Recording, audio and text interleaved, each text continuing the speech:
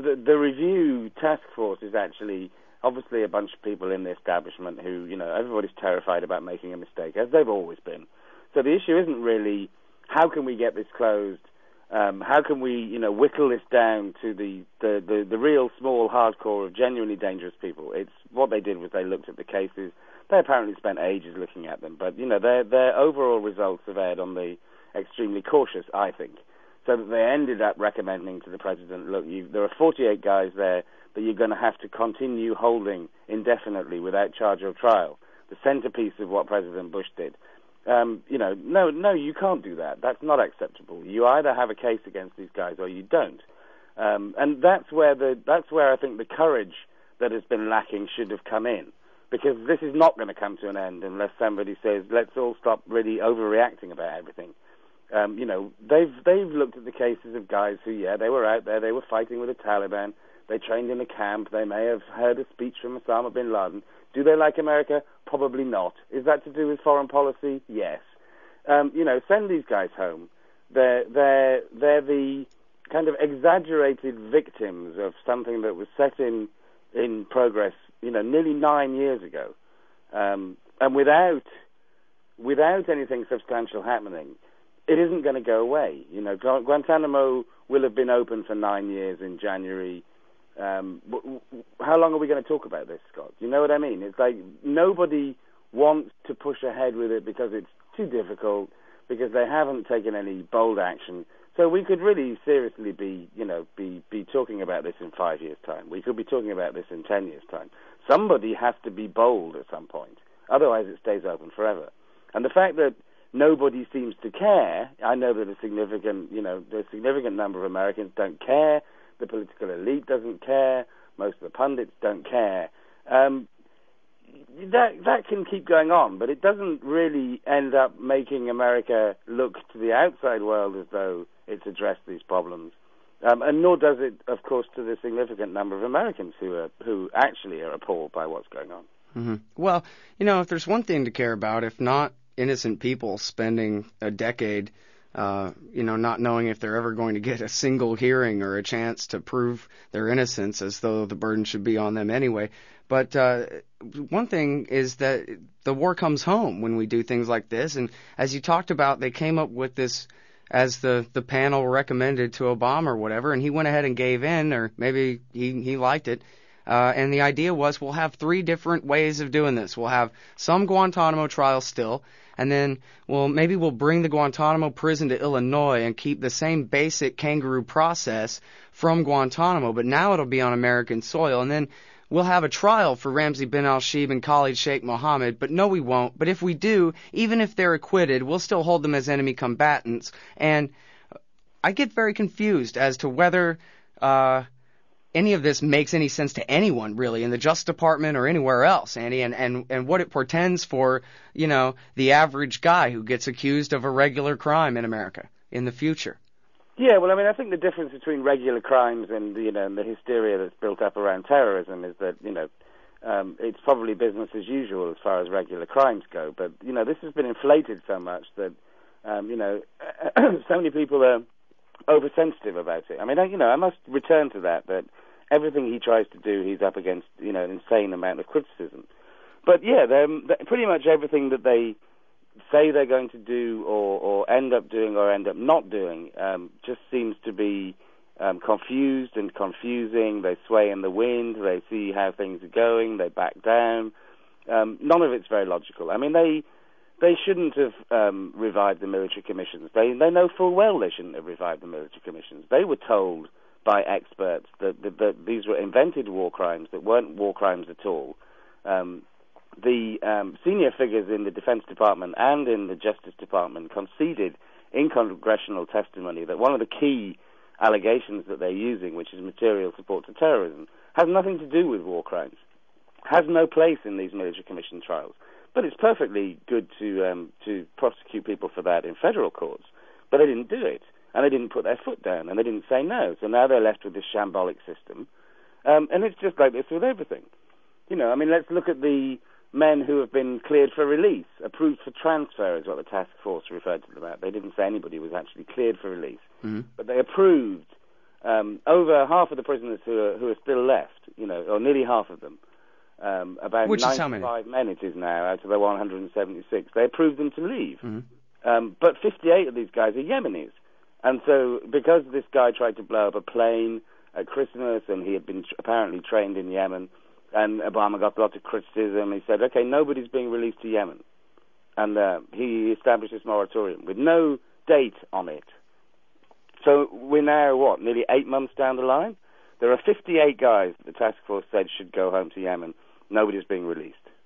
Now, when you say the task force, is that that uh, overlaps with, but is different from uh, people who have had a federal judge at a habeas corpus hearing go ahead and order them to be set freed, right? Yeah, well, some of those have, have also had um, a judge in, the, in a U.S. district court um, say that they should be released as well. Some of those are Yemenis. Um, but only in one case, a few months back, you know, it was too embarrassing for them. They caught a guy who was sleeping the night at a university dorm, um, and everybody everybody agreed that there was no reason to hold him, so they sent him home.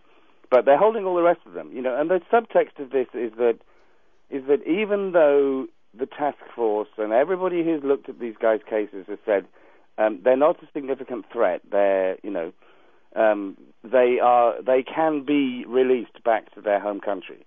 Um, everybody's so up in arms with suspicion about Yemen that they're basically saying the entire country of Yemen is a potential terrorist training base, and we cannot trust ourselves to release men back to there um, without thinking that they're immediately going to be recruited into some terrorist organization. You know, I think that's a really pretty deep insult to the Yemeni people, um, to the tens of millions of Yemeni people, most of whom are living peacefully. Well, yeah, you know, people get convicted, innocent people get convicted of crimes all the time in America. I think usually when they get a chance in court and they can really cast substantial doubt on their guilt or maybe even prove their own innocence. Of course, the burden is on you once you've been convicted. Um, but uh, I think at that point we go ahead and turn them loose, right? We're not going to sit here and hold people who we know are innocent in prison, where, where even the prosecutors admit now, okay, Your Honor, we're not fighting about it anymore. The guy actually is innocent. But that's what we're doing at Guantanamo, continuing to hold people after the judge has said, let him go. Well, in most cases, you know, in most cases where they lose, they've been challenging those decisions.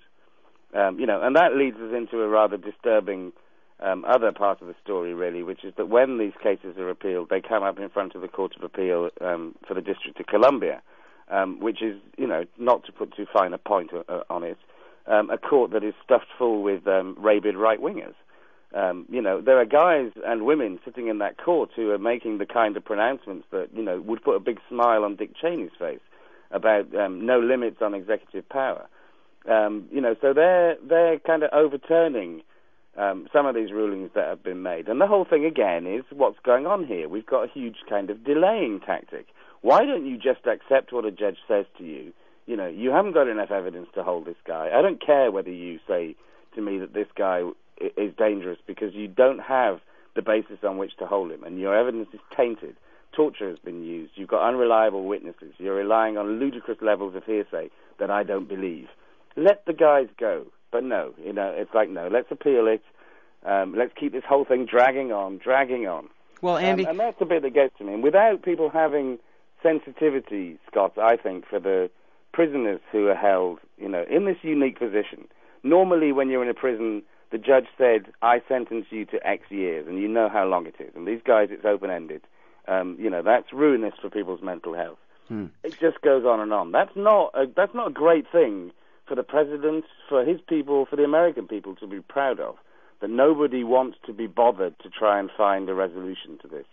Well, now on those open-ended court decisions that you mentioned there, uh, I thought that that was, you know, if anything, the one improvement of Obama's position on all this was that no, he doesn't have the power to do this because the president has unlimited plenary authority, as in the uh, theories of David Addington. At least he's citing the authorization to use military force and, you know, his so-called at least constitutional powers, not these completely ridiculous John Yoo, Jay Bybee, David Addington uh, powers. But it sounds like you just told me that a judge has ruled that yeah, he does have those kind of plenary powers, which must mean that that was the position his Justice Department or Solicitor General was taking, right?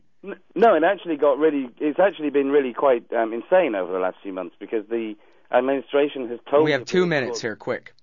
The administration has told the appeals court that they don't want the powers um, to the extent that the that the appeals court judges are trying to give it to them.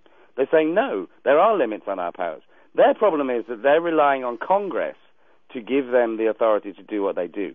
And sadly, you know, we have to conclude that um, that Congress is stuffed full of idiotic, idiotic people who don't know what they're doing, who are providing them with excuses for what they're doing that are not justifiable. That's the thing with the authorization for use of military force. These guys should be criminals or they should be prisoners of war. But no, everybody's actually saying, oh, in the end, it's okay. We're holding them as some third category of prisoner. They're no, no longer called enemy combatants, but that's effectively what they still are. Well, uh, I sure appreciate your time on the show and all the effort that you put into this over the years, Andy. It really is important that there is at least one place that people can go if they're looking for the master resource on Guantanamo Bay and this most important chapter in American history that is not over yet. So thank you again, and, and especially for your time on the show today, Andy. Well, thanks, Scott. Always a pleasure. All right, everybody, that was Andy Worthington. His website is andyworthington.co. UK. The book is The Guantanamo Files, and the documentary film is called Outside the Law, uh, both of which are easily available wherever you look with your favorite search engine. Uh, I'm Scott Horton. Uh, this has been uh, me filling in for Gustavo Arellano on the show today. I want to thank Patrick Cockburn and Michael Hastings, as well as Andy Worthington, for uh, showing up and doing the show. And I also want to thank Tamika for running the board and uh, everyone for helping out. Uh, check out antiwar.com for all the bad news. They don't seem to want me, but they won't admit I must be some kind of creature up there having KPFK Local Station Board, LSB, is now accepting applications for the volunteer position of LSB Secretary, term expected to begin at the end of the 2010 calendar year. Our KPFK Local Station Board is an elected body of this Pacifica Signal area. The KPFK LSB meets approximately once a month, perhaps alternating between weeknights and weekends. Applicants do not have to be elected to the local station board to serve as LSB secretary. Any listener sponsor can qualify. The responsibilities of the KPFK Local Station Board Secretary include 1. Recording with accuracy and clarity the actions taken by the LSB at meetings, 2. Preparing minutes of those meetings, and 3. Delivering the minutes to the chair and LSB members in a timely manner. The office of LSB Secretary is a volunteer position with a small stipend. Applicants should contact the chair of the local station board at lsb underscore chair at kpfk.org.